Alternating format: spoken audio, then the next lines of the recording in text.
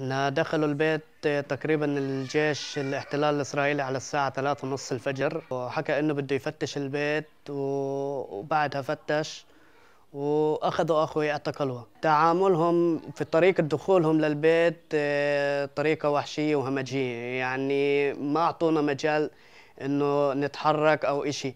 حجزونا كلنا في غرفة واحدة وتم التعامل معنا بكل آه، عنصرية و يعني ما تأخذنيش على هالألفاظ آه، بطريقة حقيرة جدا. يعني أنا لقيتهم صاروا داخلين عندي على البيت في الطابق الأرضي. أنا بيتي ساكن في الطابق الأرضي وكنت عند أهلي وقت آه، دخولهم.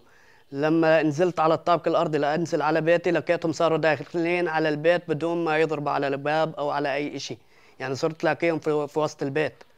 لما دخلت نزلت عندهم اتعاملوا معي في كل وحشية كان بده يضربني. أنا لما وصلت لعنده كان بده يضربني. رفع سلاحه في وجهي. أخوي كان مريض فعلا كان مريض روح من يومين لأنه كان وضعه الصحي سيء وكان تعبان. فإحنا عالجناه أكثر من مرة مرتين وثلاث و... وكان تعبان يعني في وقتها. لما دخلوا على البيت هو كان نايم وصحي على صوت على صوتهم لما دخلوا البيت. اللي صار طبعا الليلة أذان المغرب اقتحمت قوات كبيرة من الجيش. المنطقة هون وعملت طوق أمني على الثلاث قرى. سالم عزموط دار الحطب.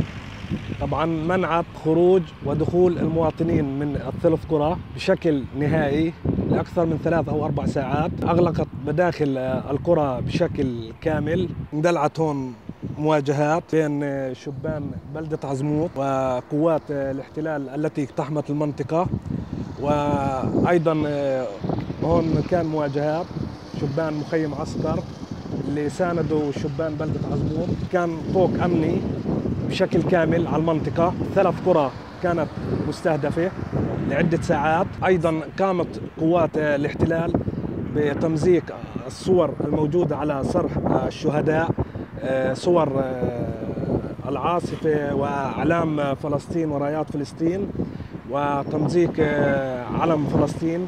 وبعدها قام الجنود أيضا بإطلاق الرصاص الحي. والمطاطي ووابل من الغاز المسيل للدموع على الشبان الذين تصدوا لهذه القوات المقتحمة للبلدة. بقيت المواجهات لعدة ساعات. الحمد لله جميع الإصابات اللي كانت هون هي إصابات آه، بالمطاط وإصابات بالغاز المسيل للدموع. قوات الاحتلال تعمدت عدم دخول مركبات الإسعاف إلى البلدة.